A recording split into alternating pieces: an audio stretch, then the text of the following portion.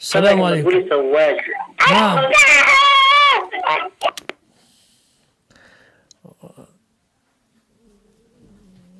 السلام عليكم. السلام عليكم ورحمة الله وبركاته. عليكم السلام ورحمة الله وبركاته. شيخ مصطفى ازي حالك الحمد لله. الله يرضى عليك شيخ مصطفى. وإياكم. الله دعواتك لنا يا شيخ مصطفى الله يرضى عليك الله يوفقنا وإياكم ويثبتنا وإياكم. اللهم آمين يا رب. كنت عاوز أسأل حضرتك سؤال بس. سل. حكم الجهر بالبسملة في الصلاة المسألة مسألة خلاف بين العلماء والأمر فيها واسع. إن جهرت لك وجهة وإن أسررت لك وجهة وإن لم تقرأها بالأصل لك وجهة وقد فصلت في هذا مرارا وتكرارا.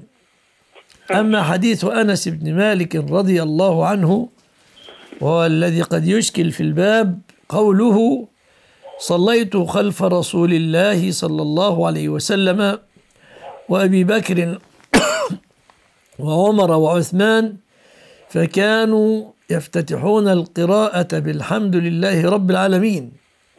هذا ثابت. في زيادة ليست بثابتة وهي لا يذكرون بسم الله الرحمن الرحيم. هذه زيادة شاذة.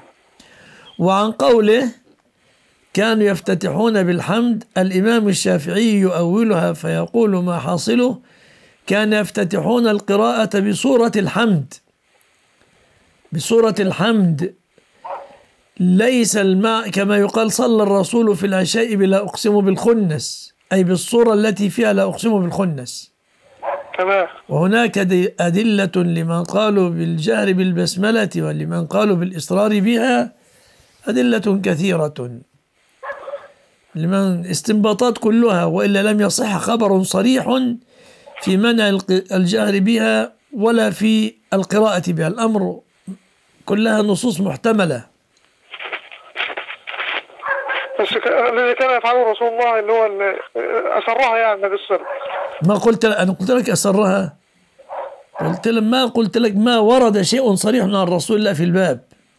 صلى الله عليه وسلم. فخذ بعض الأدلة. ال- ال- الشافعية يستدلون على الجهر بها بقول النبي صلى الله عليه وسلم فاتحة الكتاب هي السبع المثاني والقرآن العظيم الذي أوتيته. قالوا ولا تكمل سبعا إلا إذا اعتبرنا البسملة آية منها. واستدل أيضا الشافعية بأدلة أخرى منها كان رسول الله صلى الله عليه وسلم صلى الله عليه وسلم يمد بسم الله ويمد الرحمن ويمد الرحيم. فالذين قالوا لا يجهر بها استدلوا بالحديث المذكور حديث أنس وقد سمعت توجيهه. واستدلوا بحديث قسمت الصلاة بيني وبين عبدي قسمين والعبد ما سأل. إذا قال العبد الحمد لله رب العالمين قال الله حمد حمدان حمدني عبدي لم تذكر البسملة وكل له ردود على الآخر.